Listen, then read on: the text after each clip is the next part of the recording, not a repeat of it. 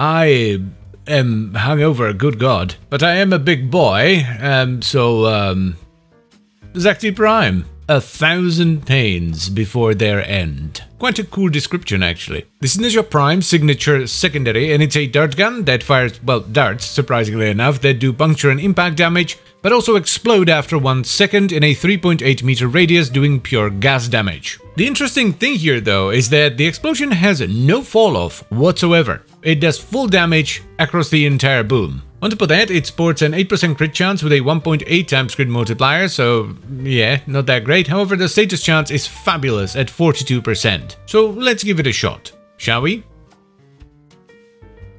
I don't want to have another Komorex situation here, so let's try it first and see whether the punch through breaks it or not. Alright, so it doesn't punch through them. I'm guessing it's because of the embedding delay, so it embeds into them and then explodes. That's good. Let's get Galvanized Diffusion. We're not gonna run Lethal Torrent because of Cannonade. And Gal Galvanized Shot?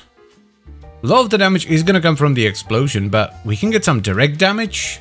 Hmm, let's go with normal Sure Shot. I want to try Corrosive and Blast. Because that could be fun with gas on top. Like a soul. Hmm.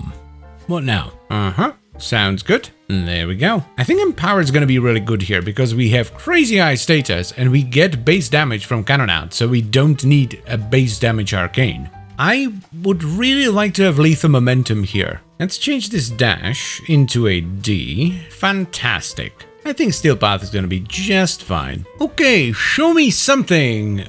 Uh, oh. Hmm.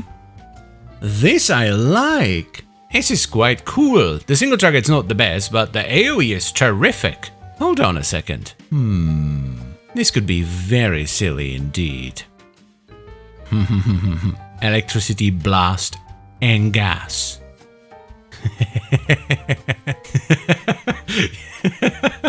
yes, please. That is tremendous. The single target's gonna be even worse because we don't have armor strip, but that is a lot of AoE. Yeah, we're doing this, 100%. Oh, damn. we need to max this out now. I'm feeling better now, by the way. So we format the dash away. Now we format back in. Wait, what? What do I want to put in here again? ah, right. Uh, we need to move this around first. So you go th there, I guess. You go there, and bam, prime fulmination. Might as well put this in too. Let's give it a proper test. My thumb. God, that's ridiculous. This is exceedingly silly. I am extraordinarily pleased. The single target is rather mediocre, even against some of the Corpus units, but the AoE is so dumb. I just like the idea of having three different AoEs stacking on top of one another. You know, we get the blast explosions all the time, then we have the gas clouds everywhere, and then the electricity chaining around. It's just such a neat little build. Even if you don't want to run this full time, I would still recommend you at least try it. Malice, my man, how have you been? Stop touching me! I know I'm irresistible, but sheesh. Eh, it's pretty much what you would expect from like a full-on status setup. It does the job, but, uh, mm, eh. oh my god, the clouds are so bright in here.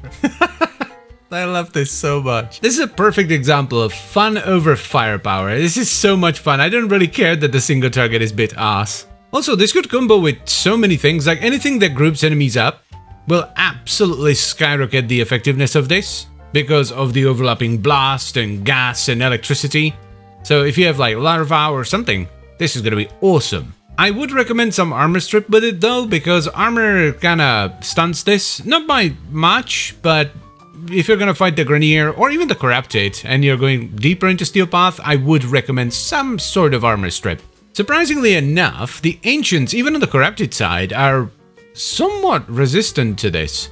Maybe it's because they just have a ton of health? Maybe that's what it is. Hmm, I mean, it's not the worst thing in the world. It's definitely serviceable. I've used worse. God knows I've used worse. I mean, I've killed an Acolyte with the Stug, for God's sakes. so this is fine. Like, especially when you have a solid pet, like I have Harold here, he helps out a lot. So yeah, this is this is fine. By the way, people constantly ask me about Harold's build. It's still the same as it was in the Harold video, so you, you can just search my channel for Harold and there it is. I kind of forgot that I'm making a video and I should probably be talking about the setup, right? This was a very pleasant surprise. At first, I thought I would just do like corrosive blast and radiation with gas on top, just to sort of try a variation of the mech special after the Jade update. But this is way better. Like, a deliberately silly build is one thing, but an accidentally silly build, that's, that's, that's the stuff.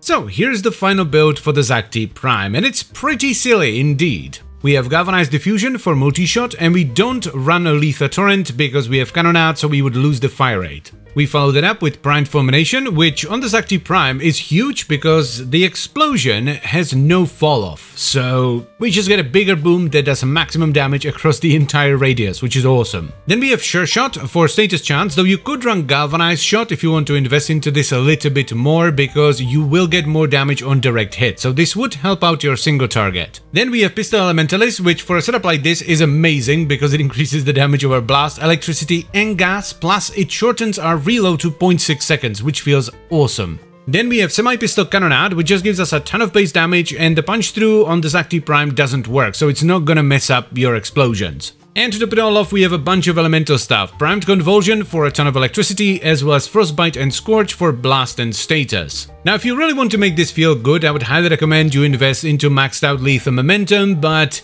if you don't want to invest into it, it's fine, it doesn't make that big of a difference, it just feels a little bit better because the darts are faster. And for the Arcane, we ended up going with Cascadia Empowered because it adds a ton of extra damage on a setup like this that procs a ridiculous amount of status on everything in a massive area all the time. However, it is not the only arcane you can run here, you have a lot of options, though do bear in mind that you get a bunch of base damage from semi-pistol cannonade, so you don't necessarily need base damage arcanes like Acolyte arcanes, right? Merciless, Deadhead, Dexterity, that kind of stuff. But anyway, this setup is an absolute treat, the AoE is ridiculous and the single target can be good, but it depends on enemy enemy density. The more enemies you have tightly clumped together, the better the single target is going to be because of the overlapping blast explosions, overlapping gas clouds, as well as the electricity chaining around in between enemies. The setup works absolutely fine on its own, however, if you really want to see what this is capable of, I would highly recommend you combo it with some kind of a grouping tool, like Larva for example, because that will really make it pop off. So yeah, I would highly recommend you give this a shot.